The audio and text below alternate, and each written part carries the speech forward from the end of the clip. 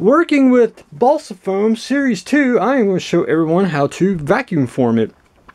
Uh, first off, if you've not seen or dealt with Balsa Foam, you can go to Amaco.com or dickblick.com to uh, purchase any and or technical information. If you're in the EU, you can go to brevecomodelling.com And for general information and or special orders, you can go to AmericanFoamTech.com. I printed off a uh, catalog off of Amaco, and this shows different sizes and everything, so I highly recommend go scoping them out for uh, prices and availability.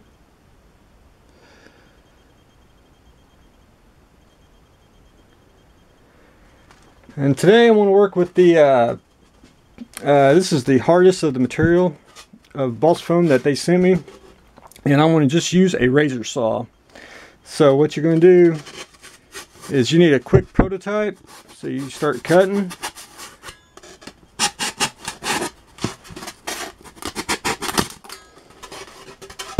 And you can either be exact or you can uh, chunk it out like I did. Sand it to shape good for uh, very quick prototypes as in canopies or you need something that's uh, just very uh, just quick shape to fill in a project or uh, clasp anything of that nature.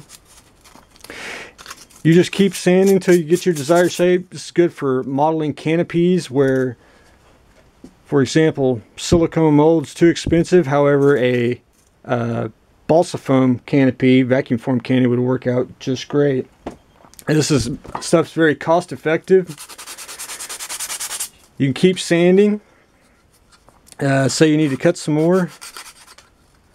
You can just keep using the razor saw. Now this is a metal tool with balsa foam. You need to be able to wipe it clean with a rag because it will corrode it.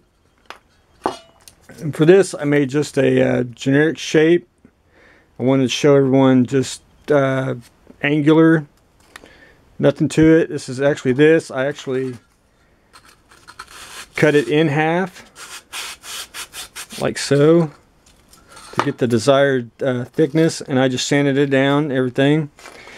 On my tabletop vacuum former, I already got the plastic in there, it's heated up. I'm going to put the uh, balsa foam in the machine.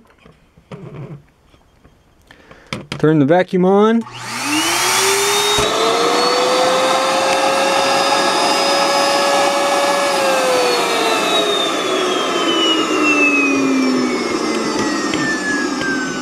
And there you have a vacuum formed plug using balsa foam.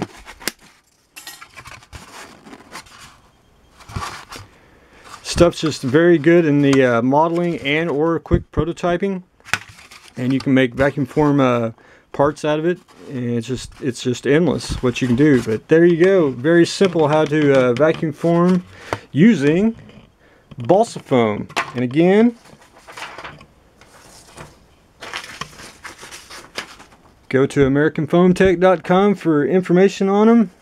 If you're in the EU, go in the Breveco modelling and if you want to purchase it, go to Amaco or dickblick.com.